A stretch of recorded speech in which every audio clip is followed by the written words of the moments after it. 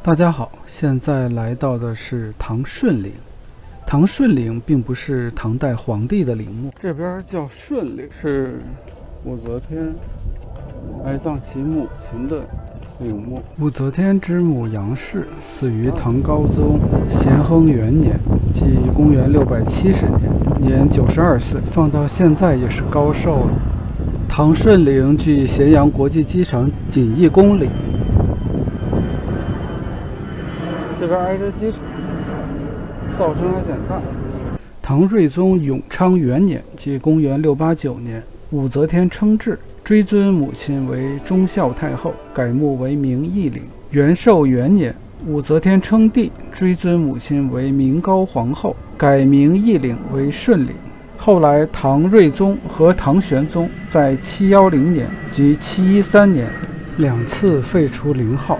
而现在呢，仍延续顺陵的教法。顺陵是唐代最有代表性的陵园之一，最引人注目的是其地面遗存的丰富精美的石刻。顺陵现存的华表柱顶高是一点八米，这是一个华表，那唐代的华表。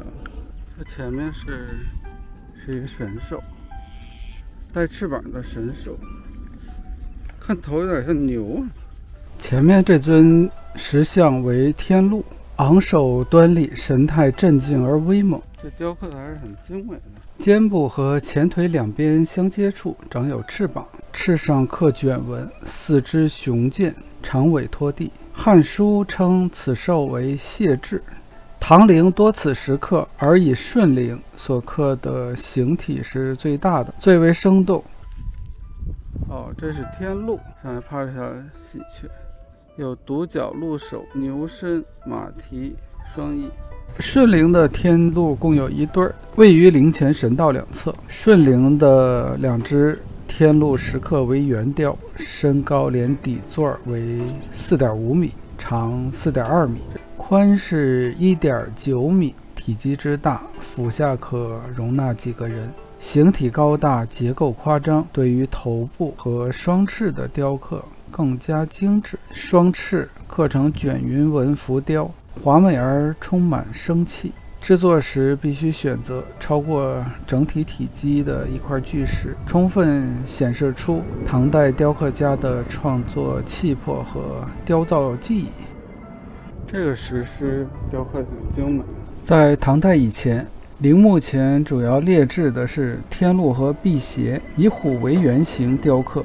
汉以后，这种神兽兼有了虎狮二者的特点，并且狮的成分越来越多，石狮彻底取代了天禄、辟邪和石虎在帝陵石刻中的地位，是由唐高宗和武则天的乾陵开始，并在以后历代帝陵石刻中有所沿袭。顺陵走狮，雄狮最为雄伟，特别是高高凸起的。健壮的胸肌和向前迈步的腿比例匀称，富有质感。雄狮高三点一五米，长三点二米，宽一点四五米，重四十余吨，体态高大，造型凶猛，四爪强劲有力，似乎在阔步缓行，阔口半开，使人如闻狮子震撼山林、慑服百兽的吼声，是唐代铸陵中现存体型最大、最具代表性的。石刻之一，武则天母亲的陵墓并非帝王之陵，能有这么多精美的雕像，是因为武则天当年下令征集天下的能工巧匠，精选石料，僭越先朝帝陵的制度，超标准地为顺陵雕造了多尊巨型石刻。不过，顺陵的墓主杨氏毕竟不是真的帝王之后，所以不但不为世人所承认，还成了李唐后代泄愤的场所。所以这里充分彰显了当年的各种权力斗争、权力的角逐。唐顺陵背后的故事，也反映了当年唐代的历史，反映了当年和权力的变化。现在看来，顺陵虽然不是帝陵。但它是唐代规模最大、级别最高的一处皇家外戚陵园，石刻气势雄伟，在唐代陵墓中最为杰出。所以说，这是典型的母以女贵。因为武则天称帝，她的母亲得到了如此超越形制的待遇。唐顺陵的面积从八万三千零七十平方米，最终扩大到一百零九万四千六百二十四平方米，增加了十二倍，居然超过唐朝开国皇帝唐高祖李渊的县陵面积近乎一倍。这是这咸阳机场附近的一个王府井奥莱，没想到陕西咸阳这还有王府井奥莱。王府井赛特奥莱吧？哦，王府井赛特奥莱，对，是是是，主要你发现哈，北京有的西安都有，北京没有的西安还有，嗯，有，对，还有朝阳门，是吧？对，朝阳门，朝阳门还挺壮观的，那大前方红绿灯直行，所有车道都可通行。还有 ICO 呢，ICO 卖什么的？鞋。没没记住，ICO 卖好鞋的。对，陕西咸阳机场附近的王府井奥莱。王府井赛特奥莱。哦，陕西咸阳机场附近的王府井赛特奥莱，我们来吃早餐，来买麦当劳，但我觉得好像都没开门呢。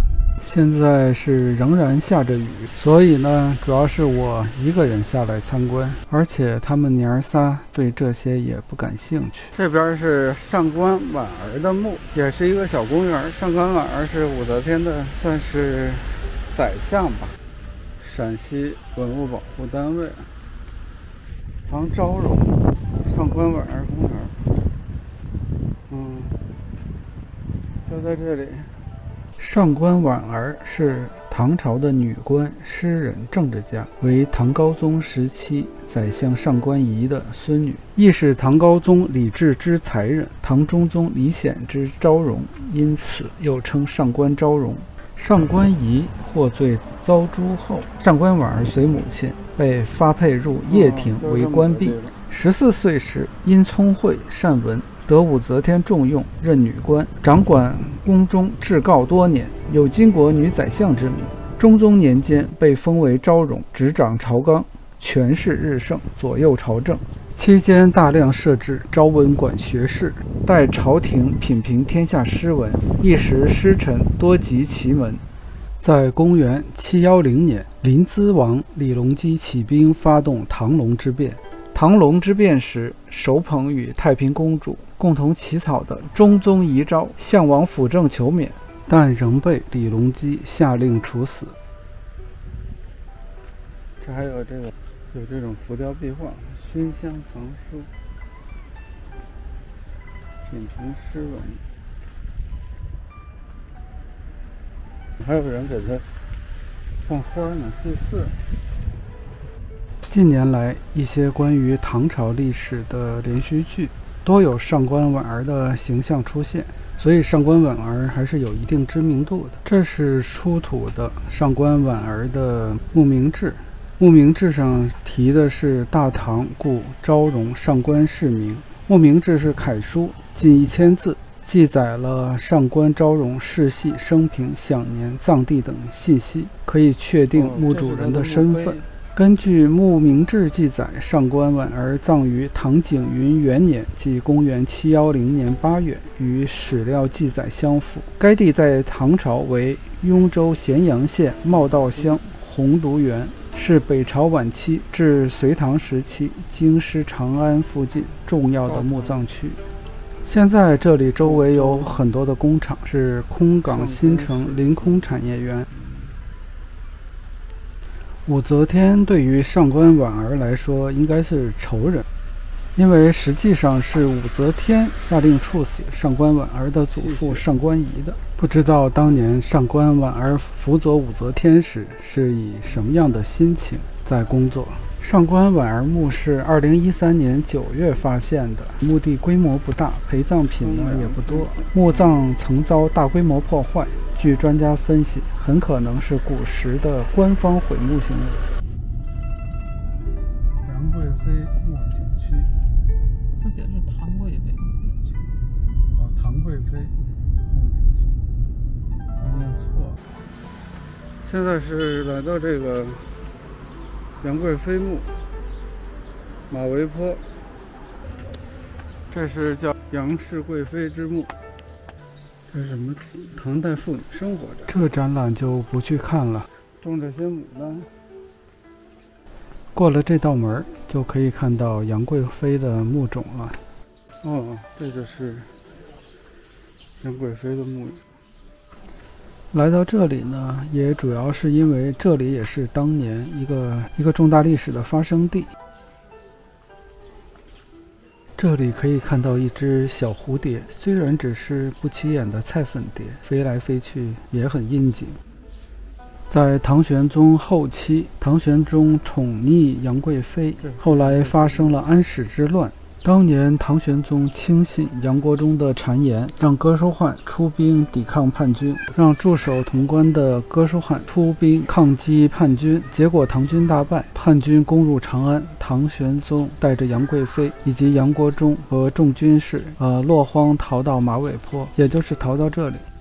这里是发生马嵬兵变的地方。唐玄宗一众逃到了马嵬坡，途中将士鸡皮，六军愤怒，认为杨国忠作乱，才导致安禄山谋反。又看到这只小小的菜粉蝶，它一直在杨贵妃墓冢这里飞，还挺有心的。杨国忠在逃跑过程中被众人杀死并肢解，韩国夫人、秦国夫人也被一并杀死。杨国忠被杀后，众将士要求唐玄宗杀死杨贵妃。高力士劝说玄宗，当下最重要的就是保军心的安定，杀死杨贵妃。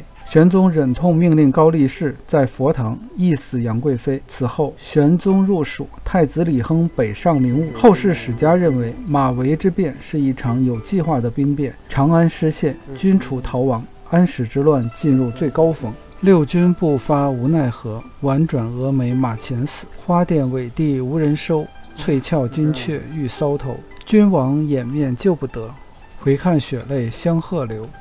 今天咱们看到历史上这三位女性，杨贵妃和上官婉儿，实际上都是被唐玄宗赐死，而武则天的母亲却活到九十二岁的高寿而去世，并得到厚葬，真是让人唏嘘不已。